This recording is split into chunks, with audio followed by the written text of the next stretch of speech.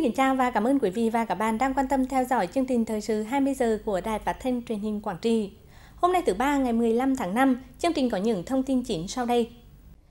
Đại hội Công đoàn tỉnh Quảng Trị lần thứ 12, nhiệm kỳ 2018-2023 thành công tốt đẹp. Nhân rộng mô hình sinh kế ở các xã vùng biển. Thưa quý vị và các bạn, hôm nay đã diễn ra Đại hội Công đoàn tỉnh Quảng Trị lần thứ 12, nhiệm kỳ 2018-2023. Đây là sự kiện chính trị quan trọng của công nhân, viên chức lao động tỉnh Quảng Trị. Tham dự đại hội có đồng chí Trần Văn Thuật, Phó Chủ tịch Tổng Liên đoàn Lao động Việt Nam. Về phía lãnh đạo tỉnh Quảng Trị có đồng chí Nguyễn Văn Hùng, Ủy viên Trung ương Đảng, Bí thư tỉnh ủy, Chủ tịch Hội đồng nhân dân tỉnh, đồng chí Phạm Đức Châu, Phó Bí thư Thường trực tỉnh ủy, đồng chí Nguyễn Đức Chính, Phó Bí thư tỉnh ủy, Chủ tịch Ủy ban nhân dân tỉnh cùng các đồng chí trong ban thường vụ tỉnh ủy, lãnh đạo Ủy ban nhân dân tỉnh, các đồng chí nguyên là lãnh đạo tỉnh, lãnh đạo Liên đoàn Lao động tỉnh qua các thời kỳ, cùng 244 đại biểu đại diện cho trên 65.000 công nhân viên chức lao động trong toàn tỉnh. Báo cáo chính trị của Ban chấp hành Liên đoàn Lao động tỉnh Quảng Trị khóa 11, nhiệm kỳ 2013-2018 trình bày đã khẳng định. Trong 5 năm qua, mặc dù phải đối mặt với không ít khó khăn, thách thức, nhưng đội ngũ cán bộ, đoàn viên, công nhân viên chức lao động và tổ chức công đoàn tỉnh Quảng Trị đã không ngừng lớn mạnh, phát triển cả về số lượng, chất lượng, đoàn kết, lao động sáng tạo, nỗ lực phấn đấu cùng với Đảng bộ và nhân dân trong tỉnh tiếp tục giành được những thành tựu có ý nghĩa to lớn, góp phần xây dựng quê hương Quảng Trị ngày càng phát triển. Hoạt động của các cấp công đoàn từng bước đổi mới và ngày càng đi vào chiều sâu, thiết thực, hiệu quả, hướng mạnh về cơ sở, thực hiện ngày càng tốt hơn chức năng chăm lo, đại diện, bảo vệ quyền, lợi ích hợp pháp chính đáng của đoàn viên và người lao động. Trong 5 năm qua, Tổ chức Công đoàn đã thăm hỏi, động viên hơn 24.000 lượt công nhân viên chức lao động khó khăn với tổng số tiền 11,8 tỷ đồng. Xây dựng 281 nhà máy ấm công đoàn và nhà tình nghĩa. Các phong trào thi đua yêu nước được triển khai tích cực, chú trọng đến hiệu quả gắn với việc thực hiện nhiệm vụ chính trị của cơ quan, doanh nghiệp, địa phương. Đã có trên 12.600 đề tài nghiên cứu khoa học, sáng kiến kinh nghiệm trong lao động, sản xuất. Với phương châm đổi mới, dân chủ, đoàn kết, trách nhiệm, Đại hội lần thứ 12, Công đoàn tỉnh Quảng Trị hướng tới mục tiêu đổi mới mạnh mẽ tổ chức và hoạt động công đoàn, tích cực chăm lo đời sống vật chất, tinh thần, bảo vệ quyền, lợi ích hợp pháp chính đáng của đoàn viên và người lao động, nâng cao bản lĩnh chính trị, trình độ học vấn, chuyên môn, kỹ năng nghề nghiệp, tác phong công nghiệp, ý thức pháp luật, đạo đức nghề nghiệp cho công nhân viên chức lao động, đáp ứng thời kỳ hội nhập kinh tế quốc tế, đẩy mạnh các phong trào thi đua yêu nước, phát huy vai trò tiên phong của giai cấp công nhân trong phát triển kinh tế xã hội, góp phần thực hiện thắng lợi nghị quyết Đại hội Đảng bộ tỉnh đề ra. Công đoàn tỉnh Quảng Trị cũng đề ra 12 chỉ tiêu cụ thể, 3 chương trình trọng tâm thực hiện nhiệm vụ trong nhiệm kỳ 2018-2023. Phát biểu chỉ đạo đại hội, đồng chí Nguyễn Văn Hùng, Ủy viên Trung ương Đảng, Bí thư tỉnh ủy, Chủ tịch Hội đồng Nhân dân tỉnh ghi nhận, chúc mừng và biểu dương những thành tích của cán bộ, đoàn viên, công nhân viên chức lao động và các cấp công đoàn trong toàn tỉnh đã đạt được nhiệm kỳ qua. Những kết quả đó đã góp phần làm cho công nhân viên chức lao động, đoàn viên công đoàn ngày càng tin tưởng gắn bó hơn và coi tổ chức công đoàn là chỗ dựa vững chắc để nỗ lực thi đua lao động sản xuất, sáng tạo, góp phần xây dựng quê hương ngày càng đổi mới. Trong bối cảnh Việt Nam ngày càng hội nhập sâu rộng với nhiều hiệp định kinh tế, thương mại được ký kết, giai cấp công nhân và người lao động cần tiếp tục khẳng định sứ mệnh lịch sử của mình trong nền kinh tế tri thức và cách mạng công nghiệp 4.0. Công đoàn cần phải tăng cường công tác giáo dục chính trị tư tưởng để tiếp tục khẳng định sứ mệnh lịch sử của giai cấp công nhân trong nền kinh tế tri thức và công nghệ 4.0, xây dựng đội ngũ cán bộ, công nhân viên chức và người lao động thành một lực lượng sản xuất tiến bộ dựa trên nền tảng khoa học công nghệ phải không ngừng học tập để nâng cao kỹ năng, kiến thức tay nghề, kinh nghiệm, năng lực sáng tạo, tác phong công nghiệp, đáp ứng với trình độ phát triển của khoa học công nghệ hiện đại và hội nhập quốc tế để nhằm cung cấp nguồn chất lượng cao. Học tập và quán triệt các quan điểm, chủ trương đường lối của Đảng, chính sách và pháp luật của nhà nước, trong đó cần phải tổ chức thực hiện triển khai tốt nghị quyết 20 của Ban chấp hành Trung ương khóa 10 và nghị quyết 11 của tỉnh ủy về tiếp tục xây dựng giai cấp công nhân, đội người công chức viên chức và tổ chức công đoàn thời kỳ đẩy mạnh công nghiệp hóa hiện đại hóa đất nước nhằm xây dựng đội ngũ công nhân, viên chức và người lao động tổ chức công đoàn ngày càng lớn mạnh. Thực hiện chỉ thị số 05 của Bộ Chính trị về đẩy mạnh học tập và làm theo tư tưởng đạo đức phong cách của Chủ tịch Hồ Chí Minh gắn với việc thực hiện nghị quyết Trung ương 4 về xây dựng và chỉnh đốn Đảng, tuyên truyền vận động để tạo sự đồng thuận trong việc tổ chức thực hiện nghị quyết Trung ương 6 khóa 12 và khẩn trương xây dựng kế hoạch để tuyên truyền sâu rộng và tổ chức thực hiện nghị quyết hội nghị Trung ương 7 về hai đề án lớn về nghị quyết lớn đó là cải cách tiền lương, bảo hiểm xã hội. Nhưng nghị quyết này có tác động trực tiếp đến quyền lợi của người lao động và đối với người sử dụng lao động. Khẳng định vai trò không thể thay thế của tổ chức công đoàn, đồng chí Bí thư tỉnh ủy yêu cầu tổ chức công đoàn cần phát huy vai trò trách nhiệm của mình trong việc bảo vệ quyền và lợi ích hợp pháp của người lao động. Các cấp công đoàn cần phải tiếp tục đổi mới nội dung và phương thức hoạt động để phát huy một cách có hiệu quả vai trò của công đoàn trong quan hệ lao động. Công đoàn phải thực sự đại diện bảo vệ quyền lợi hợp pháp và chính đáng của đoàn viên công đoàn và người lao động. Phải là trung tâm của đoàn kết để giáo dục công nhân viên chức lao động nắm bắt kịp thời tình hình và các nguyện vọng chính đáng của người lao động để tham mưu với tình những chính sách, biện pháp cụ thể, tham gia đối thoại, hợp tác với người sử dụng lao động để xây dựng quan hệ lao động hài hòa, ổn định, tiến bộ tại các doanh nghiệp. Tiếp tục thực hiện có hiệu quả các hoạt động như tháng công nhân, Tết xuân vầy, lấy lấy của đoàn viên công đoàn làm điểm đồng tâm để tập hợp và phát huy phát huy hiệu quả của phong trào thi đua trong công nhân viên chức và người lao động. Trọng tâm là phong trào thi đua lao động giỏi lao động sáng tạo góp phần để phát triển các cơ quan và doanh nghiệp. Triển khai thực hiện có hiệu quả các quyết định 217, 218 của Bộ Chính trị, quy định của Ban Bí thư, các quyết định của Ban Thường vụ Tỉnh ủy về giám sát, phản biện xã hội, góp ý xây dựng Đảng và xây dựng chính quyền. Đẩy mạnh công tác phát triển đoàn viên, thành lập công đoàn cơ sở khu vực, doanh nghiệp gắn với triển khai thực hiện đề án phát triển tổ chức đảng đảng viên và các tổ chức chính trị xã hội trong doanh nghiệp ngoài nhà nước trên địa bàn Quảng Trị giai đoạn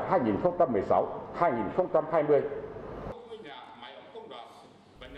Đồng chí Bí thư tỉnh ủy cũng đề nghị các cấp công đoàn cần tuyên truyền, vận động, tạo sự đồng thuận trong việc thực hiện nghị quyết Trung ương 6, chủ động xây dựng kế hoạch để tuyên truyền, giáo dục, tổ chức thực hiện nghị quyết hội nghị Trung ương 7 về cải cách tiền lương, cải cách bảo hiểm xã hội, đồng thời lựa chọn bầu vào Ban chấp hành, Ban thường vụ, Chủ tịch và các phó chủ tịch Liên đoàn Lao động tỉnh nhiệm kỳ mới, đảm bảo chất lượng, toàn diện, vừa có kiến thức sâu rộng, vừa giỏi chuyên môn, thực sự là thủ lĩnh của phong trào công nhân lao động.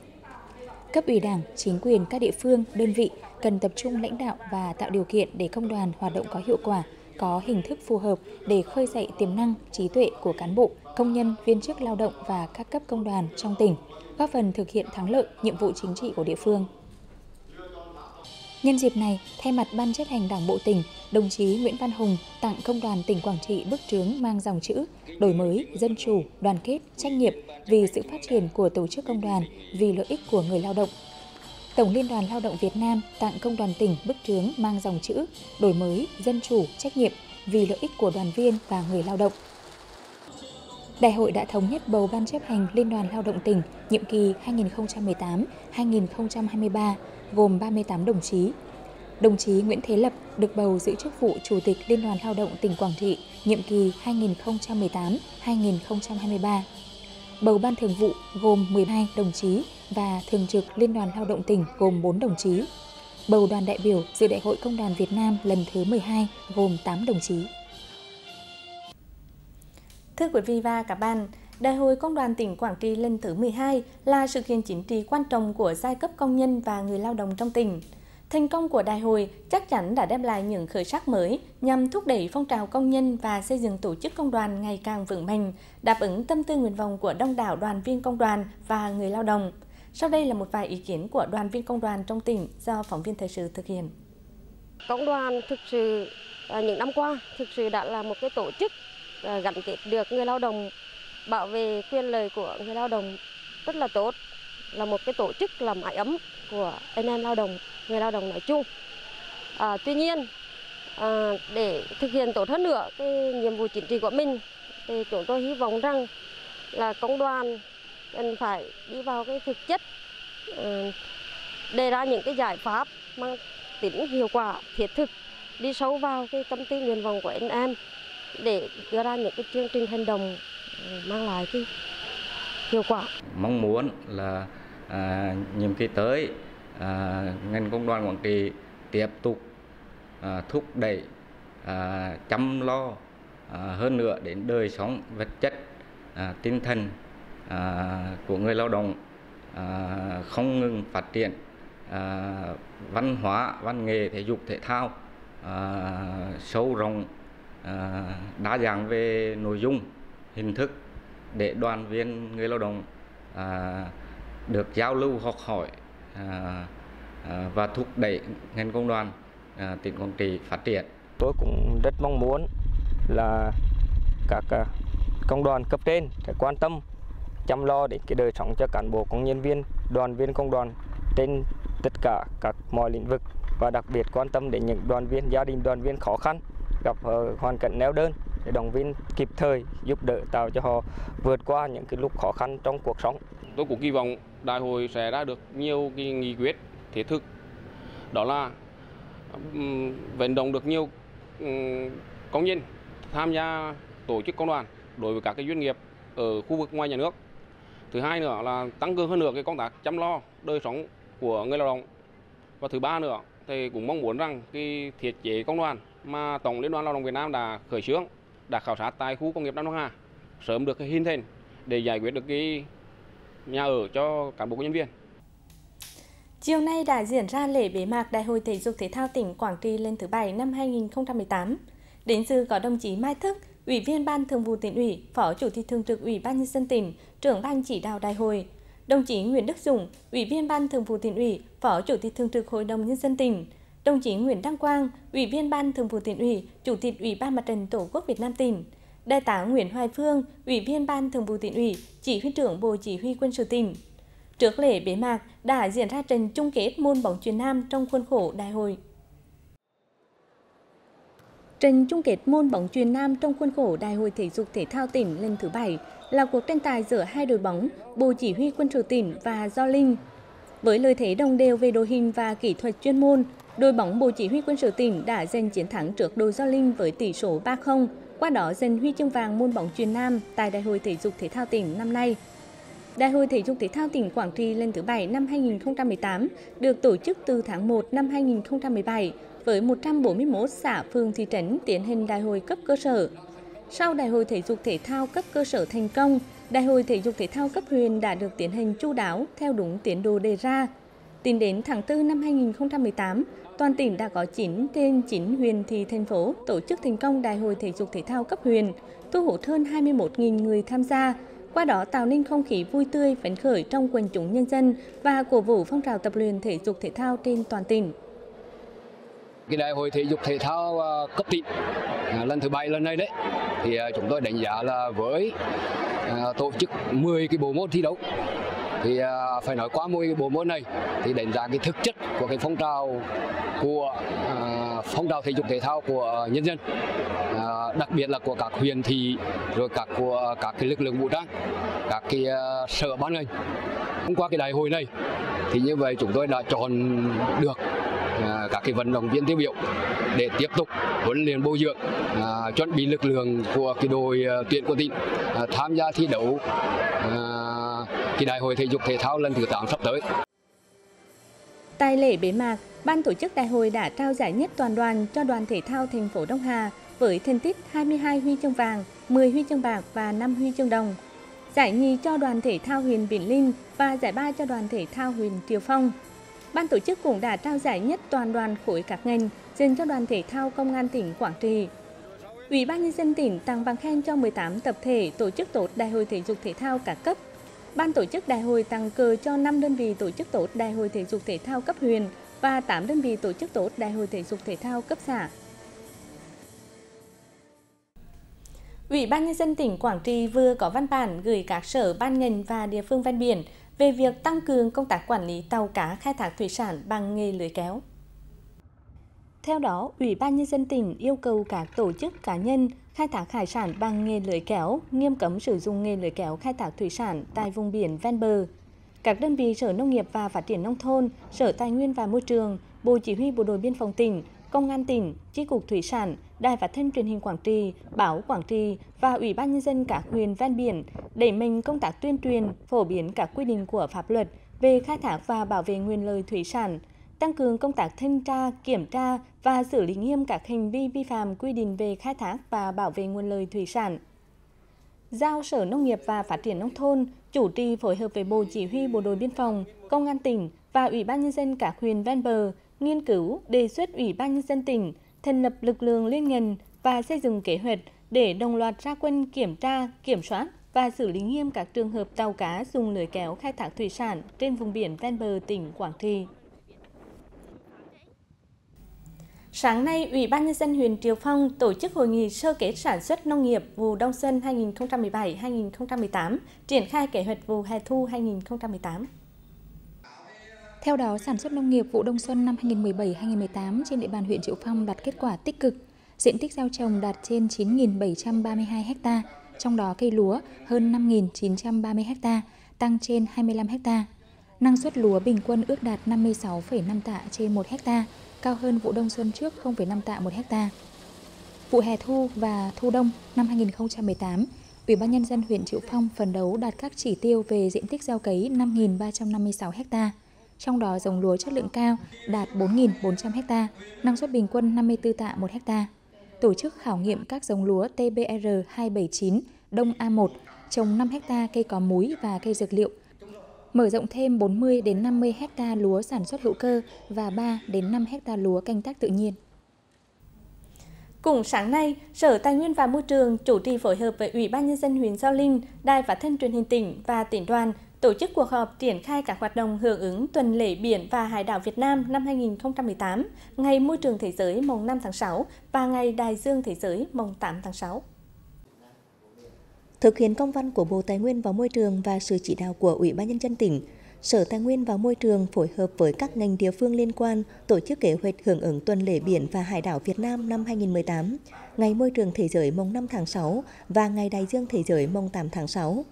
Thời gian dự kiến tổ chức các hoạt động vào ngày 30 tháng 5 năm 2018 tại bãi biển thị trấn Cửa Việt, huyện Gio Linh với chuỗi các hoạt động thiết thực nhằm thu hút các cấp các ngành và đông đảo các tầng lớp nhân dân tham gia như tổ chức lễ phát động ra quân Hãy làm sạch biển, ký kết chương trình phối hợp liên ngành bảo vệ tài nguyên và môi trường giai đoạn 2018-2023,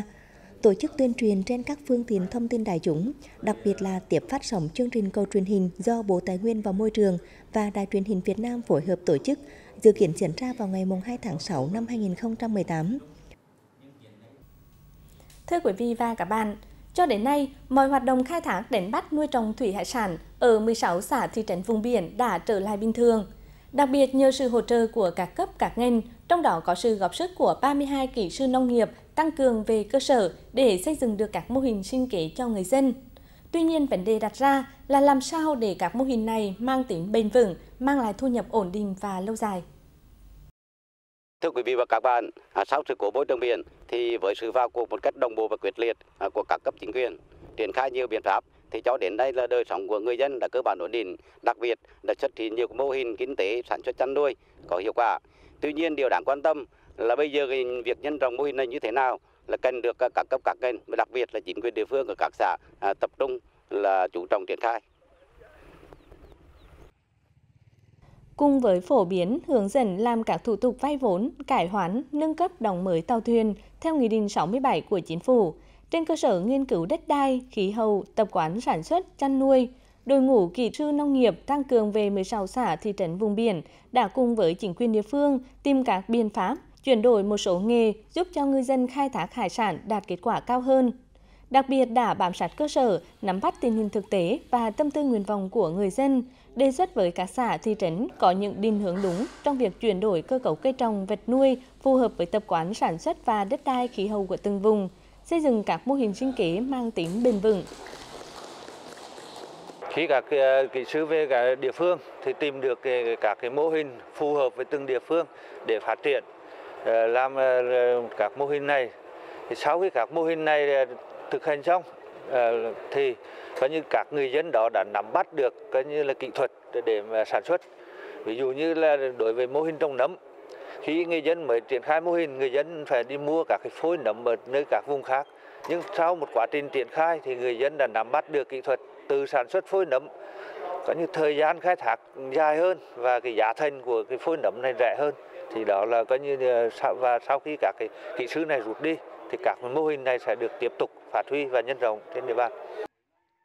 Với kinh phí huy động hơn 9,1 tỷ đồng từ nhiều nguồn khác nhau, chỉ trong thời gian ngắn, với lòng nhiệt tình, còn với kiến thức chuyên môn và kinh nghiệm qua nhiều năm công tác, đội ngũ kỹ sư đã chọn lựa các loài cây con phù hợp với đặc điểm sinh thái của từng nơi, tổ chức các lớp tập huấn, hướng dẫn kỹ thuật, xây dựng và chuyển giao 77 mô hình trồng trọt chăn nuôi, nuôi trồng thủy sản với 1.154 hồ tham gia.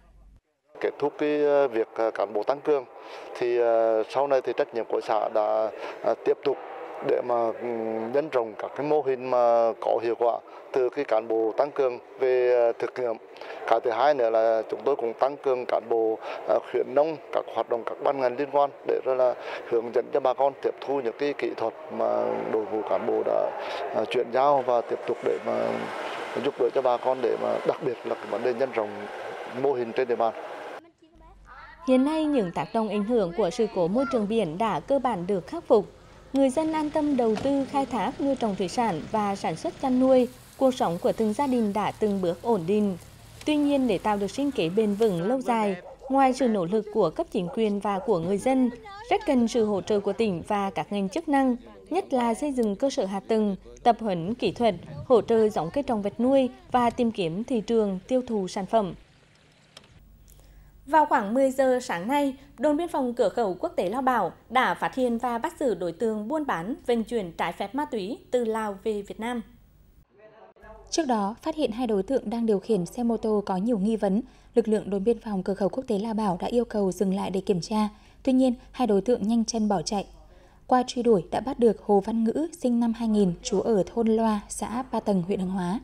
Khám xét trong người đối tượng thu giữ một túi màu đen, bên trong có chứa 33 viên ma túy tổng hợp. Khám xét nhà ở của Hồ Văn Ngữ đã thu giữ một dụng cụ để sử dụng ma túy. Ngữ khai nhận từ năm 2017 đến nay đã 5 lần sang Lào mua ma túy về bán kiếm lời và sử dụng. Được biết đây là vụ án phức tạp vì số lượng ma túy đối tượng Hồ Văn Ngữ bán cho các con nghiện trên địa bàn là khá lớn. Xóa bỏ được tụ điểm này là thành công lớn của đồn biên phòng cửa khẩu quốc tế La Bảo nhằm giữ vững an ninh trật tự ở khu vực biên giới. Đến đây, chương trình thời sự 20 giờ của Đài Phát thanh truyền hình Quảng Trị cũng xin được kết thúc. Cảm ơn sự quan tâm theo dõi của quý vị và các bạn. Thân ái chào tạm biệt và hẹn gặp lại.